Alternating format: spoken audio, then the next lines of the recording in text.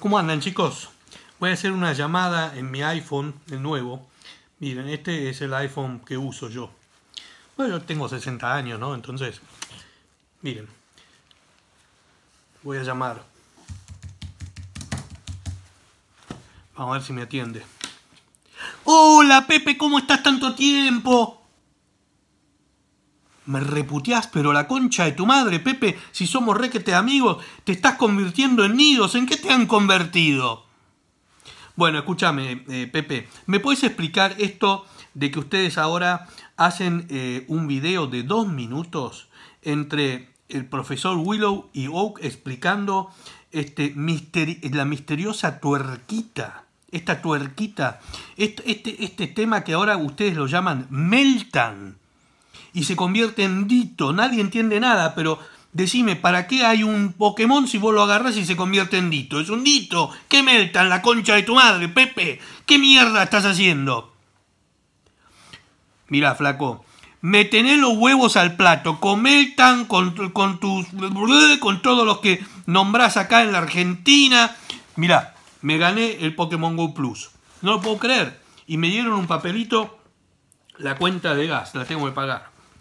Pepe, escúchame, pues yo voy a pedirte que me pagues a mí también, no solo a Diego, porque este tema de hacer un video entre eh, el profesor Willow y el profesor Oak explicando lo de Meltan, que han descubierto no sé qué, cosa, yo lo descubrí el día del centenario, loco, apareció, terminó el Chicorita, espectacular ese evento, ¿eh? te felicito, nunca vi semejante cosa, era, era un hype, hermano, una cosa tan impresionante casi me desmayo. Y mira, acá en, esto tengo las fotos comunitarias.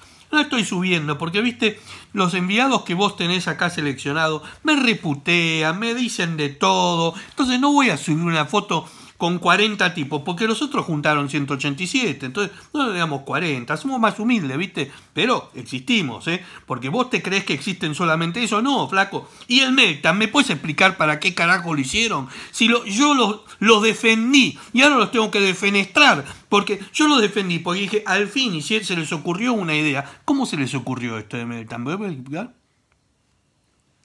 Hola. Hola.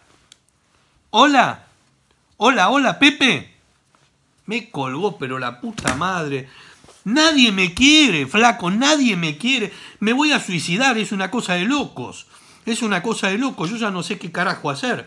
Bueno, pero es esto. Todos los lamebotas y chupamedias que les pagan 300, 300 eh, dólares en Pokémonedas en las cuentas, ahora dicen Meltan, Meltan, qué genialidad, Meltan, Meltan y pasan el video de Meltan.